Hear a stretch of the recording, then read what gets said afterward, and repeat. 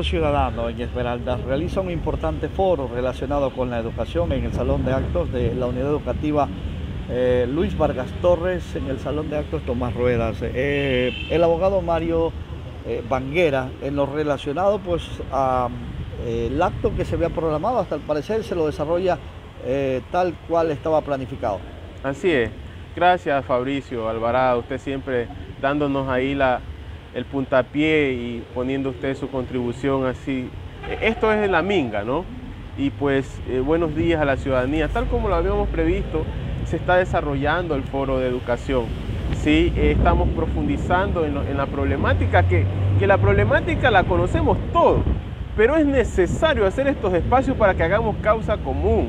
No es posible que sigan las limitaciones en materia de educación y nosotros eh, bien de brazos cruzados. Y yo, yo entiendo mucho, por ejemplo, al gran sector de la comunidad educativa, porque a veces si dices algo te, ya te están cuestionando, ¿no verdad? Y entonces ahí surge la capacidad jurídica del Observatorio Ciudadano para ahora sí consolidar esas necesidades y exigir, ¿no verdad?, de una manera planificada, de una manera sistemática, a efecto de que se vayan cumpliendo estas necesidades que nosotros sabemos que tienen los maestros, que tiene el padre de familia, que tiene eh, toda la comunidad y que tiene la estructura en sí de los, cada uno de los establecimientos educativos, porque los edificios también, ahorita se habla mucho del tema de reinicio a clases, nosotros estamos de acuerdo, eh, eh, el tema de la vacunación progresiva se ha tenido, pero ahí hay una observación, la observación es que se deben adecuar también los establecimientos educativos, se los debe desinfectar, entonces a efecto de que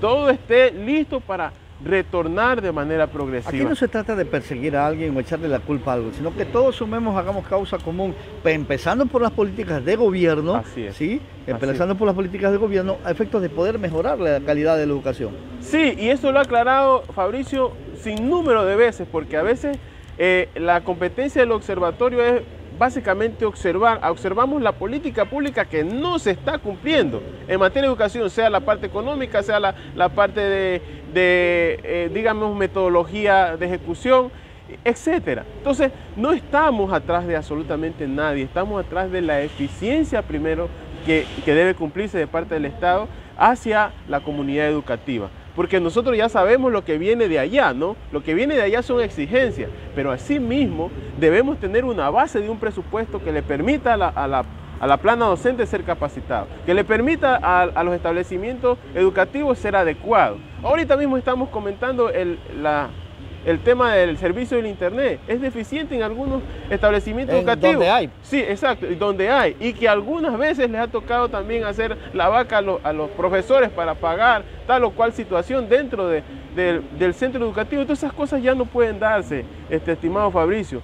Pero obviamente, repito, no vamos a aludir a personas, etcétera. No, aquí vamos tras una eficiencia que nosotros estamos requiriendo como parte educativa. Entonces, este no será el último, ni el primero tampoco, vendrán otros Sí, vienen otros espacios, pero este es, digamos, el, inicio de una consolidación de una información que va a ser sistematizada y vamos también a hacer una comparatoria con lo que está en el INEVAL, porque el INEVAL tiene eh, casi todo el tema de porcentaje de calidad de educación, eh, porcentaje, bueno, de infraestructura no, no tiene, ¿no? De infraestructura tenemos que generarla nosotros porque debemos de visibilizar las necesidades. Sí, porque eso solamente se ve cuando la, persona o la autoridad va al establecimiento educativo y los profesores y los estudiantes son los que sienten. El ministerio solo se exige resultados, que los resultados sean positivos, pero para tener resultados necesitamos inversión, necesitamos que todos alemos la cuerda hacia el mismo lado.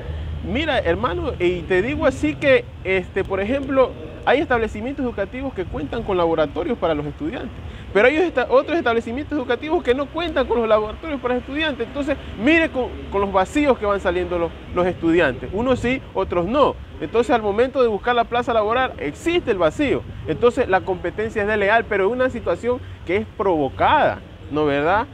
Porque quien tiene que garantizar esto es el Estado. Sí, seamos sinceros. Entonces, nosotros estamos enfocados en eso, repito, y eso que suene, porque no estamos persiguiendo a nadie, no estamos hablando contra un gobierno, absolutamente nadie, estamos hablando por las deficiencias que hemos tenido a través de la historia que no se ha cumplido y, que aspiramos que en estos años que, que, van transcurriendo, el año que viene, eso se vaya visibilizando, ¿no? que nuestros establecimientos estén ya equipándose poco a poco, ¿no verdad? Ese es el resultado, que nuestros maestros de a poco también estén ya capacitándose, ¿no verdad? Y que el presupuesto vaya de a poco también mejorando. Y ah, es penoso, es penoso mirar en el transcurso también de esta pandemia cuando la Constitución manifiesta que el presupuesto de la educación es intocable. Y sin embargo se lo tocó, se lo tocó, se lo disminuyó y se lo sigue tocando. Entonces tiene que cumplirse eso.